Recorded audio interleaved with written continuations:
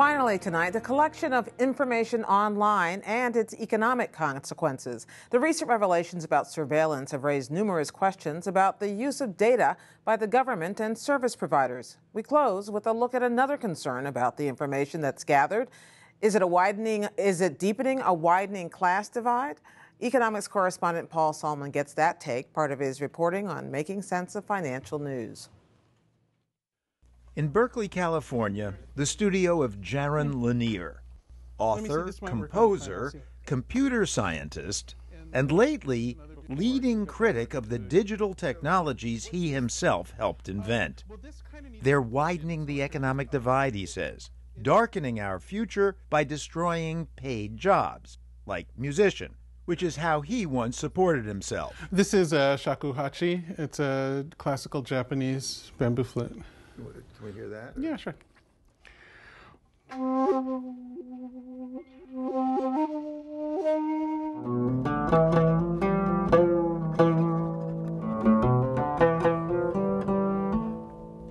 Lanier has also long worked in technology, still does as a telecommuting consultant to Microsoft Research in Seattle. But in recent years, he's grown skeptical of the Internet. In 2010, he published You Are Not a Gadget, a manifesto, a critique of digital networks like Facebook and Twitter, which he calls shallow and dehumanizing.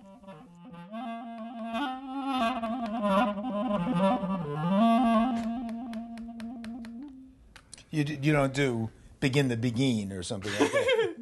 I used to for money. But it was the computerization of the music industry that helped inspire his new book, who Owns the Future, in which he argues that digital networks are destroying jobs and the middle class, exacerbating economic inequality by providing free stuff that's really paid for by the information the networks take from us and sell to other big companies. What's the basic thing you're worried about? That we've used digital networks to organize our world, and digital networks have a certain negative side effect that none of us foresaw. In a digital network, whoever has the biggest and best connected computer is going to get all the power and all the money. And that centralizes the reward so much that it screws up the society and the economy eventually. So this is the Googles, the Facebooks of the world. Well, it's not just the, the, the usual suspects like the Googles and the Facebooks.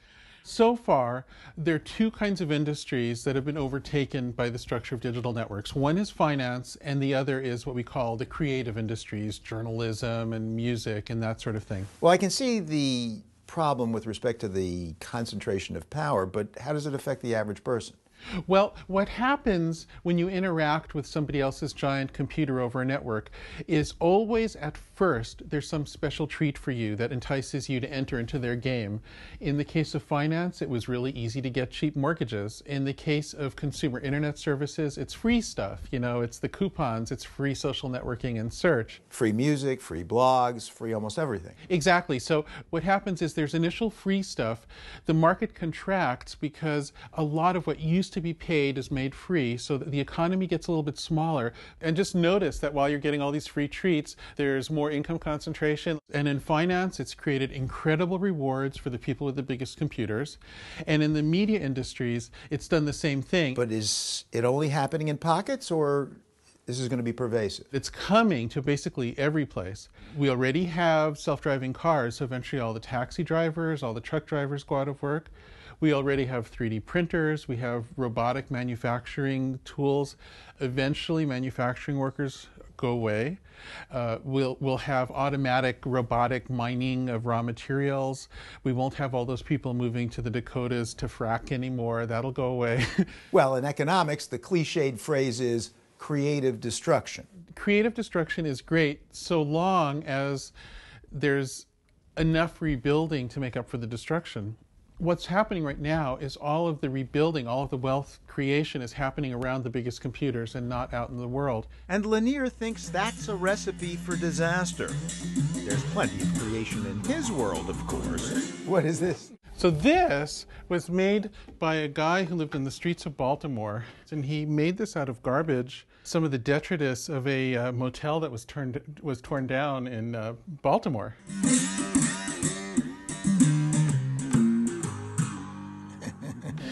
Called it the Abu-Tar. His, his name was Abu, the master flute maker of the ghetto.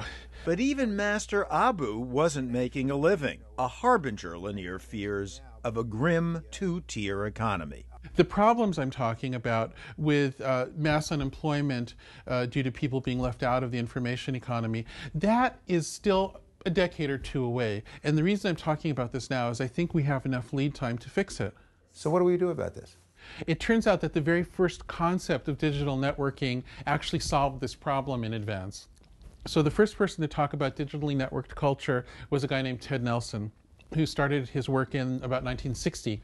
And Ted's idea was that everybody who contributed over digital network would get paid in little tiny micropayments for whatever they did.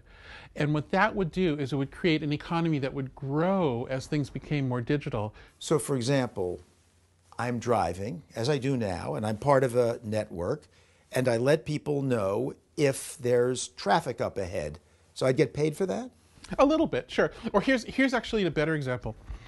Right now, one thing that concerns a lot of people is that government agencies are putting up cameras everywhere. And so as you walk around in a big city, you might be tracked constantly. I think the government should have to pay for whatever it does, including getting information from people, and should be constrained by its budget. So if they have to pay for collecting those images of you walking around, then they have to create a sense of balance about how often they do it. But you're not just talking about street corner surveillance cameras.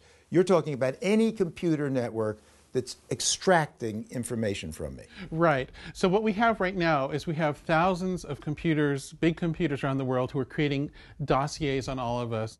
Any information that exists because you exist should bring you rewards. You get ill and you get better, and your medical case history and data gathered from your body becomes part of the medical databases that help other people. You get paid for that. And furthermore, it should be based on how valuable it turns out to be. So it might turn out that some something about your DNA turns out to help a lot of people 10 years later and be more valuable than expected. You should benefit proportionally to its value. But how do you force a computer network to pay me for something that they've been extracting from me for years for free? I know when I talk about these ideas, it must sound as though I'm talking about this extremely complicated thing, but you have to remember I've been through this once because I've been involved with the internet from the beginning. And we a, a, relatively small number of people brought about this pretty complicated thing already. What I'm talking about now to me is just a continuation of the same spirit, and it doesn't seem any more complicated than what we've already done. It's just moving in a different direction that I think is more suitable to making a sustainable society. So I've been naive when I have, for a number of years now, thought, gee, free is good. Free is communal. Free may be the wave of the future. Look, I helped make up the whole idea of free, open everything a long time ago, and there's a lot of great qualities to it. However, if we create a world where everybody can benefit from the information economy, even if it's just pure information, in other words, you actually get paid for your blog post or your social network activity if you're popular, that kind of stuff, then we can create a stronger middle class than we've ever had before as technology gets better. That's the big idea, that's the big possibility. Jaron Lanier, thank you very much. This was great. I'm very happy that you're so interested.